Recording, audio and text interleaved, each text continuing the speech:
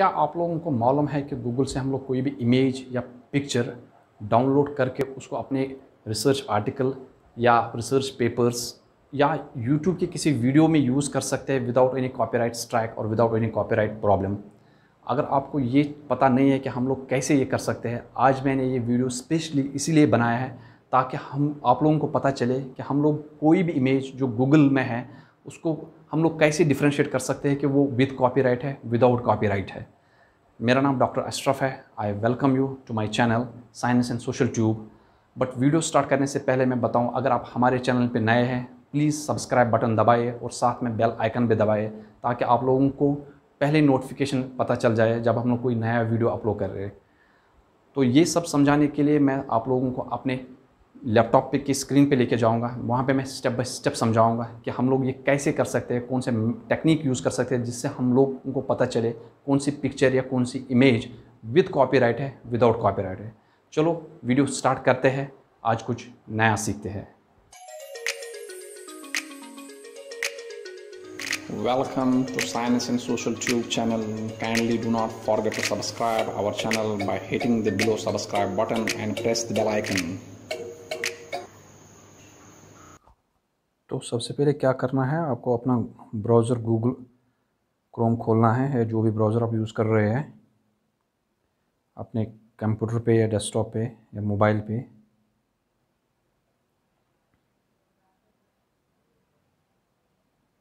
मेरा ये browser open हो रहा है अभी। तो आपको www.google.com सर्च करना है।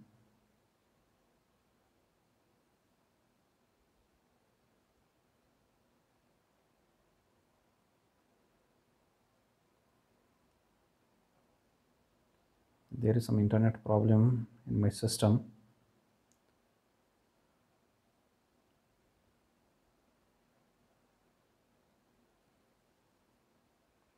Okay, it's fine. So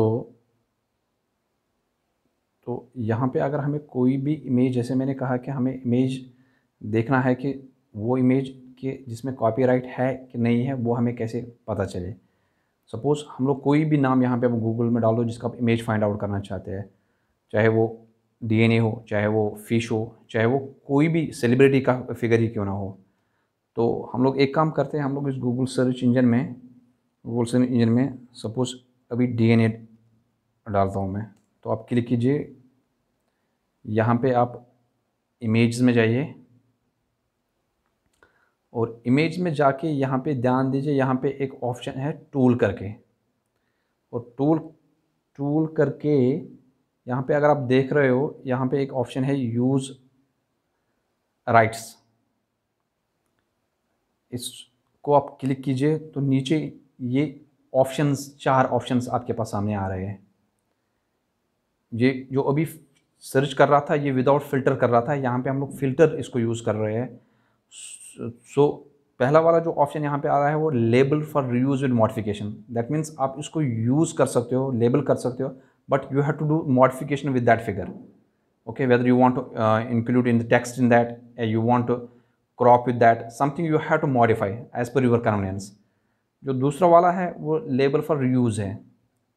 यहाँ पे डायरेक्टली आपको ऑप्शन दिया गया, आपको इसको यूज़ कर सकते हो. There is no problem with that but जो ये दो नीचे वाले दो है label for non commercial reuse with modification ये नॉन कॉमर्शियल के लिए है ओके नॉन कॉमर्शियल के लिए आप इसको अपने यूट्यूब के यूज़ यूज़ में नहीं कर सकते हैं, क्योंकि वो कॉमर्शलाइज है या आप किसी वेबसाइट पे इसको यूज़ नहीं कर सकते हो। आपने वो मोनेटाइज किया है गूगल के साथ, वहाँ पे यूज़ नहीं कर सकते हो, क्योंकि वो कॉमर्शल्स में आ जाते हैं। और लास्ट वाला जो ऑप्शन है, वो सीधा है label for non commercial use यहाँ पे जो ये इमेज है, इन इमेजों को आप यूज़ कर सकते हैं अपने प्रेजेंटेशन में। ओके, अपने लेक्चर्स में, जहाँ पे आपको कॉमर्शियल की चीज़ें नहीं आ रही है। तो अगर मैं अभी सपोज़ लेबल फॉर यूज़ करूँगा, मैं ये सिलेक्ट करूँगा जो हमें चाहिए, जो नॉर्मली यूज़ करना चाहिए, चाहे आपके रिसर्च पेपर्स में, चाहे आपके आर्टिकल्स में, या चाहे आपके कहीं पे भी जगह पे, या गूगल यूट्यूब की वीडियोस में भी। तो अगर हम लोग यहाँ पे देखेंगे, यहाँ पे इतने सारे जो फिगर्स हैं, इन फिगर्स को आप आराम से यूज़ कर सकते हो, कुछ भी प्रॉब्लम नहीं है। सपोज़ अभी हम लोग अब देखेंगे कि इसमें कॉपीराइट है कि नहीं है। जो मैं बात कर रहा था कि हमें देखना पड़ेगा कि इनमें कॉपीराइट कैसे पता चल रहा है कि नहीं है कि नहीं है। सपोज़ हम लोग इस फिगर पे क्लिक करेंगे। ये पेज अभी ओपन हो रहा है। तो अगर आप इस फिगर के नीचे के ऊपर नीचे जाएँगे ओके नीचे जाएँगे तो यू कैन क्लियरली सी यहाँ पे लिखा है free for commercial use no attribution is required that means no licence is required आप कॉमर्शियल के लिए इसको यूज़ करना चाहते हैं नॉन कमर्शियल के लिए यूज़ करते हैं, आप आराम से इस फिगर को यूज़ कहीं पे भी कर सकते हैं। हम लोग कोई और एक फिगर देखते हैं।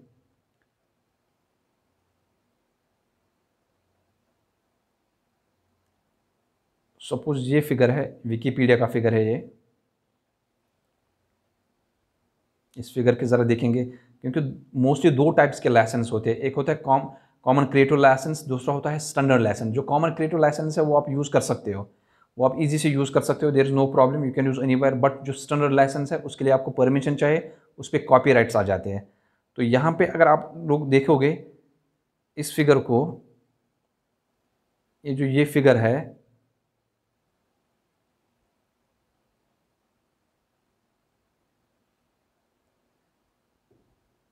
इस फिगर में ओके, यहाँ पे the copyright holder of this work here publish is under the following licence okay, ये क्लियरली लिखा हुआ है, okay. Permission is granted the copy distribute and modify this document under the terms of this G N U free document licence versions और any other this free software foundations okay. So यहाँ पे उन्होंने लिखा है permission is granted for the distribution और modify this document modify and this यहाँ पे ये इंपॉर्टेंट सबसे ज़्यादा ये इंपॉर्टेंट है this file is license under the common creative attributions shares under this license so that means कि जो कॉमन क्रिएटिव वर्जन में आते हैं, इनको कुछ प्रॉब्लम्स नहीं है। There is no problem in this case आप कहीं पे भी इसको यूज़ कर सकते हैं। तो आपको ध्यान रखना पड़ेगा, आपको जो भी फिगर आपको चाहिए, जो भी फिगर आपको लेना चाहते हो, लेना चाहते हो, अपने यूज़ करना चाहते हो अपने कॉमर्शियल के लिए या नॉन कॉमर्शियल के लिए, आपको यहाँ पे जो ये चार ऑप्शन दिए गए हैं गूगल ने जो हमें फ़िल्टर के चार ऑप्शन दिए गए, इनको ध्यान से देखना होगा, क्योंकि यहाँ पे कमर्शियल नॉन कमर्शियल की बात आती है, उस हिसाब से आप अपने चीज़ों में इसको यूज़ कर सकते हैं। मुझे यकीन है कि मैंने अपने तरीके से हंड्रेड परसेंट कोशिश किया कि आपको समझाने के लिए कि आप कैसे फ़िल्टर कर सकते हो, कैसे नॉन फिल्टर्स कर सकते हो। अगर आपको हमारा वीडियो अच्छा लगा प्लीज़ लाइक कीजिए कमेंट्स कीजिए शेयर कीजिए मिलते हैं अगले वीडियो में thank you thank you very much kindly do not forget to subscribe our channel by hitting the below subscribe button and press the bell icon